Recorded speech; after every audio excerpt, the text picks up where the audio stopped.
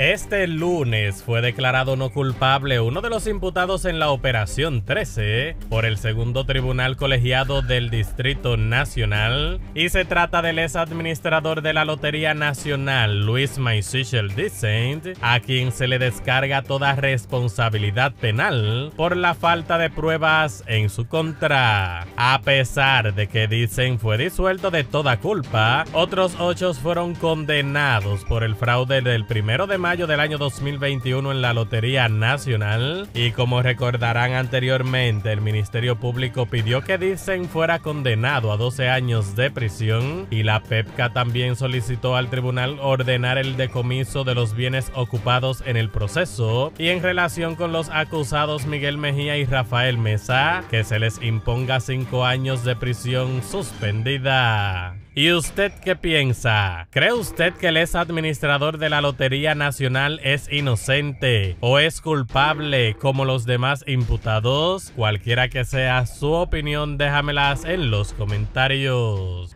Es una decisión correcta apegar al derecho porque nosotros desde que Licen fue arrestado siempre mantuvimos la tesis, la teoría y le demostramos que él no tuvo nada que ver con ese hecho. El tribunal dijo, si me traen pruebas, condeno. Si no me traen pruebas, no puedo condenar a un inocente. Con relación a las dos personas que fueron descargadas, el propio tribunal reconoce que se presentaron pruebas, pero asumen que esas pruebas son insuficientes. Dejando de lado, por ejemplo, que en el caso de Dicen incluso despidió a una persona que trabajaba en la lotería que los demás participantes habían puesto como condición para involucrarse en la realización de este fraude. Bueno, eh, esto de la lotería, lógicamente, esa es la noticia del, desde, desde ayer en las noticias, ¿no? Don José Manuel Ruiz Peña, saludo en Boston. Eh, la noticia del día. Hay que esperar la sentencia completa, pero ya se pueden hacer conjeturas. La operación 13 fue un escándalo tan grande en este país. Y fue casi empezando el gobierno. Fue un ruido tan estremecedor y, detestable al mismo tiempo, porque fue un asunto burdo, ¿no? Que se vio en pantalla de televisión. Y por eso la gente reaccionó. De la manera como lo hizo, con un desprecio tremendo a todo esto. Miren, esto que acaba de ocurrir, hay que ver en buen derecho, porque uno, uno tiene que ser justo cuál es la motivación y cuáles son las, las razones que tienen los jueces, las juezas, para haber decidido como decidieron. El hecho es que hay ocho personas condenadas, hay dos que están absueltos, hay uno que fue condenado en rebeldía porque no se presentó nunca, huyó del país, y las penas van entre 7, 6, 5 y 2 años eh, cumplidos para algunos. Además de, el caso de Valentina, la joven locutora, presentadora y otros tendrían también que, que realizar otras, otras acciones. Yo no voy a decir que el amigo Michel Dicen sea culpable o inocente hasta que no termine todo esto, ¿no? Yo no voy a decir eso. Fíjense que lo he tratado con muchísimo respeto. No le he puesto un solo adjetivo. Yo no voy a, a entrar en eso. Ahora bien, esta gente, algunos empleados y otros ligados al mundo de la banca, están condenados. O sea, los jueces vieron pruebas para ello. Pudieron establecer concordancia en medio de pruebas entre las acciones de ellos y el fraude que asciende a más de 500 millones de pesos. Más de 500 millones de pesos. El Ministerio Público, saludo Dixon Herrera, el Ministerio Público va a apelar a desesperarse eso. Y yo sospecho que este caso va a llegar hasta la última instancia o jurisdicción en el sistema judicial dominicano. Va a llegar al nivel más alto.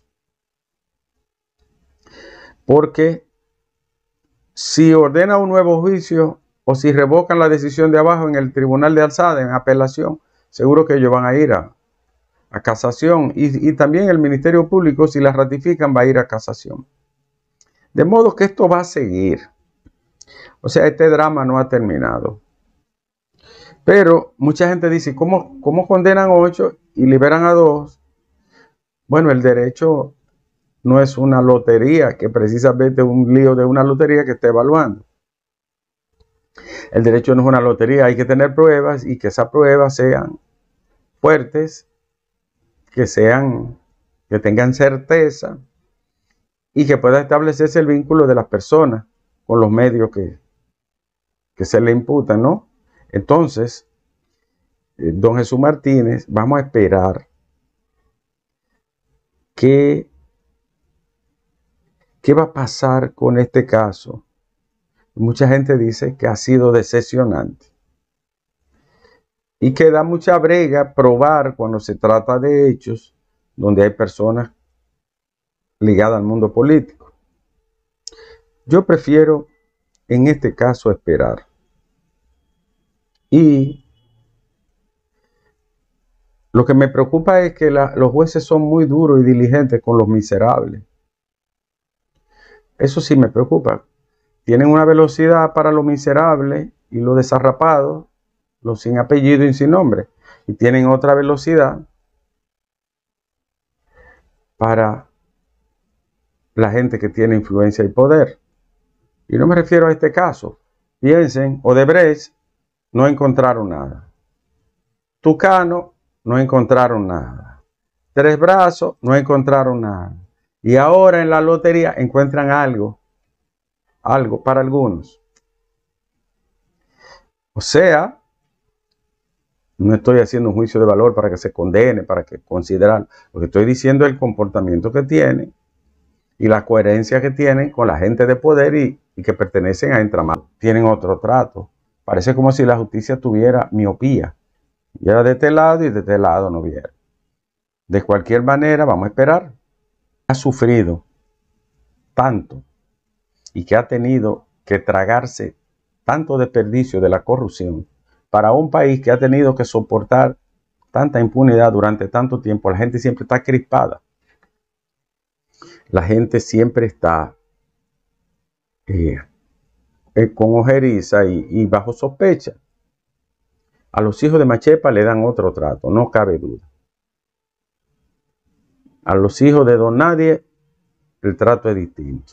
Ustedes lo ven todos los días. Ustedes ven ahí, ahí vi yo a un tipo que le metieron 30 años. Era un robo con violencia. Atracó a una persona, le, golpeó con algo contundente, le quitó un reloj, 30 años. Y a otro le metieron 20 años. Porque le quitó una prenda a una pareja en el Parque del Este. Yo no estoy diciendo que está maravilloso, yo lo veo bien. Ahora, un fraude de 500 millones de pesos que daña y lesiona al Estado, a la sociedad completa, le pegan 8 años y 7 años, 5 años. ¿Eh? Y a un tipo que le quita dos anillos y un reloj a una persona le pegan 20 años.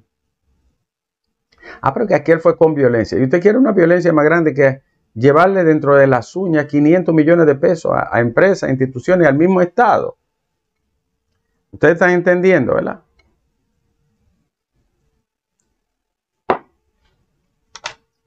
Entonces, vamos a esperar. Algo pasó. Condenaron ocho personas hace mucho tiempo que aquí no se condenaba a nadie por corrupción. Yo no me acuerdo cuándo fue. Ustedes pueden decir, bueno, pero el director, que era la cabeza señalada por el Ministerio Público, está libre. Bueno, no encontraron prueba para él. Pero eh, encontraron para ocho y condenaron ocho personas.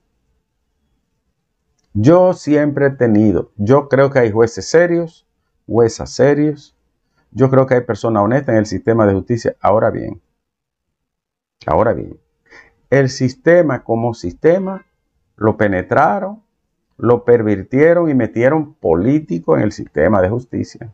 En la Suprema Corte, en los otros tribunales por influencia política.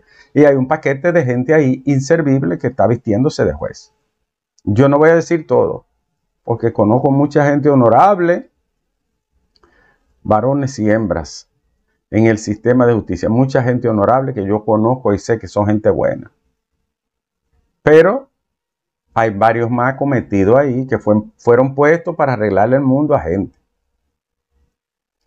A verdaderos delincuentes. Bueno, ustedes conocen los casos y recuerdan todo lo que pasó en la Suprema aquella vez.